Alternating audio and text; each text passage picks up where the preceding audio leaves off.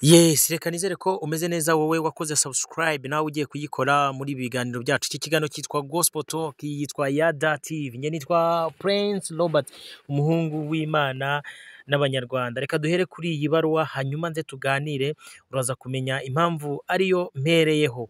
Republica of rwanda ministry of local governance kigali kuwa makumyabiri na kabiri z'ukwezi kwa munani bibiri na makumyabiri na kane nomero zeru karindwi mirongo itanu na gatatu akanyerezo zeru karindwi zeru rimwe bwana madame umuyobozi w'akarere ubwo ni bose ni uturere twose uko ari mirongo itatu. Bwana madame muyobozi nshingwabikorwa w'akarere bose ah, impamvu gusaba ihagarikwa ry'imiryango ishingiye ku myemerere idafite ubuzima gatozi. Bwana madamu umuyobozi w'akarere bwana muyobozi nshingwabikorwa w'akarere shingiye ku ibaruwa y'urwego rw'igihugu rw'imiyoborere ahgb yo ku itariki makumyabiri na kabiri z'ukwezi kwa munani bibiri na makumyabiri na kabiri shingiye kandi ku isuzuma ry'ibikorwa ry'imiryango ishingiye ku myemerere irimo ririmo gukorwa mu gihugu hose guhera tariki ya makumyabiri n'umunani z'ukwezi kwa munani bibiri na makumyabiri na kane. Mbandikiye iyi baruwa mbasaba guhagarika imiryango n'ibikorwa ry'imiryango iri ku mugereka w'iyi baruwa n'indi yose ikora itemewe n'amategeko aho yaba ikorera hirya no hino mu gihugu hose.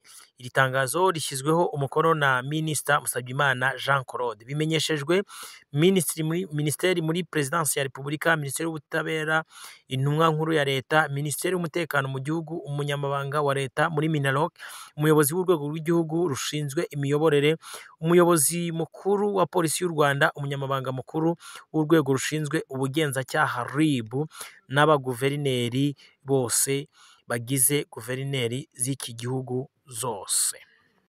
Hanyuma wowe udukurikiye ah, hari siroga mu itangazamakuru tugira ngo icya mbere ni amakuru. Icya mbere ni amakuru. Reka nkubwire ngo uze kudukurikira utege amatwi neza witonze urebe kuri uyu mugereka w'ibarwa niba urusengero rwawe ruherereye muri uyu mugereka ubundi utangire ushake undi muryango ah, uwo ari wo wose wakwihuza nawo ukajya usengeramo. Ah, uko izi sengero cyangwa se aya matorero agera kuri mirongo ine n'atatu niko tugiye kubasomera duhereye ku rya mbere kugeza kuri mirongo ine n'atatu yahagaritswe mu gihugu hose. Ah, organization cyangwa se abantu batemewe gukora muri iki gihugu cyacu cy'u rwanda nimero ya mbere hari abo bita abagorozi. Abagorozi ah, iri ni itsinda ry'abantu bashobora kuba bariyomoye ku badivantiste b'umunsi wa karindwi. Rero aba bantu ntabwo bemerewe gukorera mu gihugu cyacu cy'u rwanda. Nimero ya kabiri hari abo bita abakusi. Ah, abakusi iri ni irindi tsinda naryo niba ubarizwa muri iri tsinda umenye ko uyu muryango cyangwa se ah, iki gice cyanyu cy'iyobokamana kitemewe gukorera muri iki gihugu cyacu cy'u rwanda. Nimero ya gatatu ni abanywagake. Ubwo ni irindi tsinda naryo abaribarizwamo naryo muze kubwira bagenzi banyu ko bitemewe. Nimero ya kane ni abitwa abarokore. Abarokore. Nimero ya gatanu babita abavandimwe church. Abavandimwe church hanyuma nimero gatandatu ni agape sanctuary sanctuary. Nimero karindwi ni apostolic faith ministry international. Iri naryo ntabwo ryemewe. Nimero umunani ni assembly of god assemblies of god. Iyi naryo ntabwo ryemewe.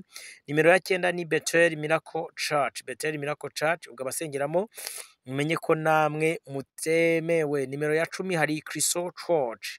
Iri naryo ntabwo ryemewe. Nimero cumi na rimwe yitwa restaurant temple dusenyi. Dusenyi iri naryo ubwo ntabwo ryemewe. Nimero ya cumi na kabiri yitwa dusa n'imitima church. Iyi na yo ntabwo yemewe. Cumi na gatatu hari edamu. Edamu iri naryo ntabwo ryemewe. Eebvr naryo ntabwo ryemewe. Cumi na gatanu hari eglise betania eglise betania na yo ntago yemewe. Nimero ya cumi na gatandatu hari future bright spark church. Future bright spark church iyi na yo ntago yemewe. Cumi na karindwi handitse ngo gofa church ubuhungiro.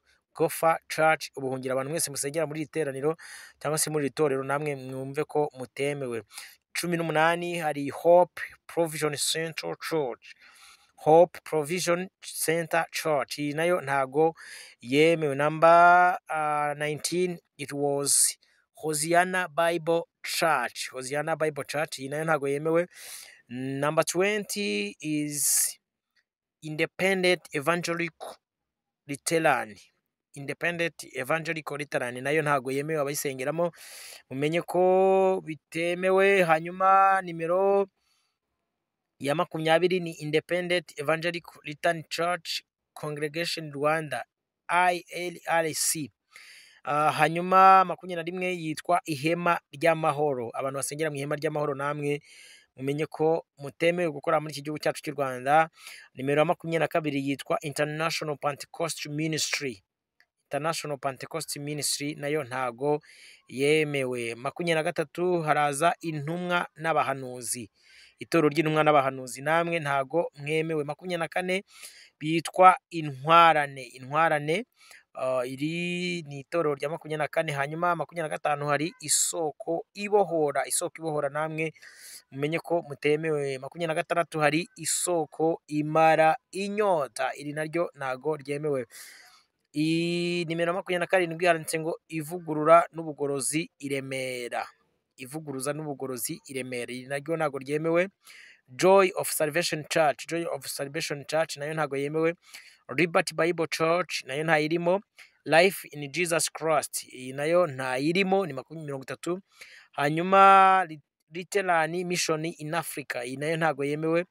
Philadelphia church. Ntago yemewe. Principle of holy spirit church. Nayo ntago yemewe. Promise life covenant church. Nayo ntago yemewe. Redeemed baptist church. Nayo ntiyemewe. Reformation christian church. Nayo ni uko. Salvation church. Salvation church ntago yemewe. Isimari religion and cultural. Nayo ntago yemewe. Hari organization for rwanda. Organization for rwanda. Know. niba isimari religion and culture organization for rwanda ah okay ni iyi ngiyi na yo ntago yemewe. Hanyuma mirongo itatu na n'umunani hari organization for rwanda. Iyi na yo ntago yemewe ubuzima bushya muri kristo yesu na yo ntago yemewe. Udeperi impinduka udeperi noti adeperi ni udeperi impinduka hanyuma mirongo ine na rimwe hari umugeni wa kristu hakaza umurage w'abera pantekote aha ni hamwe hari gusezeranya garase we kwa saviye na yo ntago yemewe. Urwambariro abera mu rwanda ngizi insengero mirongo ine n'eshatu zitemewe mu gihugu cyacu cy'u rwanda. Niba hari urusengero rwawe wumvishemo utangire ushake indi eglise cyangwa se undi muryango wa gikristu wiyunga nawo kuko izi nsengero ntago zemewe gukorera mu gihugu cyacu cy'u rwanda nk'uko wabyumvishije. Ah, ni insengero cyangwa se ni imiryango igera muri mirongo ine n'itatu. Ubwo uwo utumvishijemo ah, nitumenya andi makuru tuzabamenyesha mu minsi iri imbere. Ariko iyi miryango yose igera kuri mirongo ine n'itatu ntago yemerewe gukorera mu gihugu cyacu cy'u rwanda nk'uko itangazo rya minisitiri Musabyimana ribigaragaza. Tubabwire ngo rero kuri iyi breaking news cyangwa se kuri aya makuru mashya atugezeho nitugira andi makuru tumenya ni cyo tubereyeho. Icya mbere ni amakuru ni ukubamenyesha. Reka mbabwire ngo mugire ibihe byiza. Ciao ciao.